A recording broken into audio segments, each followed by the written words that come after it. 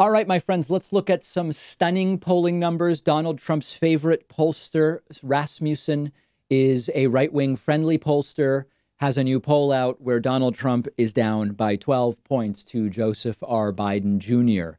When other polls don't look good for Trump, Trump often says, Look at Rasmussen. Rasmussen does good polling. Well, here is Rasmussen's latest poll with RMG Research saying Trump is down 12 to Biden, 48 to 36, with 9% not sure and 6% supporting some other candidate. Now, important to understand that there are 15% here that are either for some third party candidate or aren't sure yet. If they mostly consolidate around Trump in November, that can get Trump close enough where even he, he could lose the popular vote by a few points, but still win the electoral college. We saw that in 2016. But the reason that this poll matters is that last week when CNN said, hey, we have a poll done with SSRS, reliable, reputable pollster, says Trump is down 14. Trump uh, said it was fake, had his lawyers send a cease and desist letter to CNN, demanded an apology, and demanded a retraction. We now have a traditionally right wing pollster saying, well, it's not a 14 point lead for Biden, but it's a 12 point lead for Biden. And in addition, we have an abacus data or data poll from yesterday which also has this as a 14 point lead for Joe Biden. So, what is our takeaway?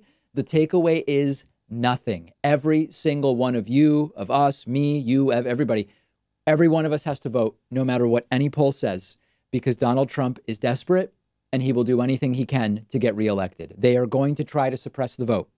They are going to try to come up with some October surprise. We talked earlier in the show about maybe some emergency use vaccine we can assume nothing. If in your state Biden is polling ahead by 30 points, what do you do? You go and vote because we can't take a chance. Now, let's look at some stunning state polls in the meantime. An admittedly left leaning PPP poll has Biden plus 14 in New Mexico.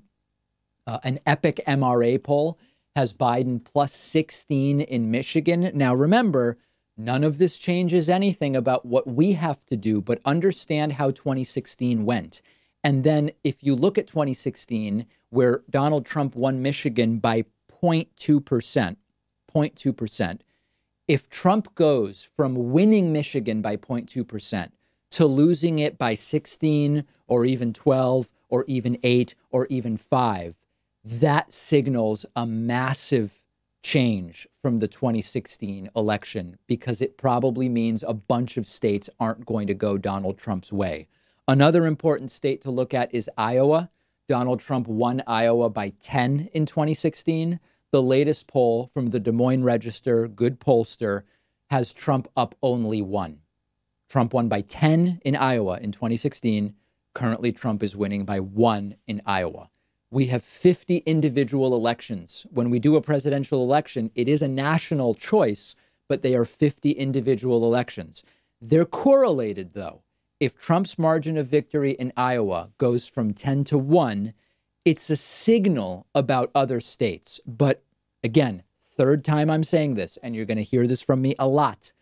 Our, our mission, our assignment individually is we vote no matter what state we're in we vote no matter what the polls say. If in mid October the stock market spikes and Trump claims he got us a vaccine, it could push him to victory. And then we have four more years of Trump, Trump selecting Supreme Court justices, Trump putting in more uh, federal and appeals court judges. So we need to be prepared for something in October. We need to be ready to deal with it, meaning every single person must plan to vote. Now, I want to focus in a little more specifically on Arkansas. If you are anything like me, you probably aren't thrilled with the idea of going into a doctor's office right now. And thankfully, there's a practical and affordable way to take control of your health and get personalized care from the comfort of your home. It's a service called SteadyMD. They're one of our sponsors. You take a quiz, you get matched with a licensed primary care physician who understands your health needs. You have a one hour video call with your new doctor. You establish a meaningful relationship with them. And after that, Your doctor is available to you anytime by text, phone, or video chat. This is not a random doctor on call. Each doctor at SteadyMD has a limited number of patients, so they actually have time to listen to you. You get the personal attention that you deserve. They can do almost everything an in person doctor can do perform medical evaluations, talk to you about health concerns, send prescriptions to your home or local pharmacy, and anything they can't do online, they'll quickly set you up with an in person provider to do things like blood tests, as an example. You don't need insurance. It's only 99 bucks a month with no other fees or copays. There are so many practical advantages to using SteadyMD for primary care, and it's also so much more affordable. Go to steadymd.com slash Pakman to take the free quiz, see which doctor is right for you. I took their quiz. They matched me with a doctor who specializes in my particular health needs and situation. The doctor they gave me is a really perfect fit for me and my medical needs. There's no risk, no commitment to get started. Just click the link right underneath this video.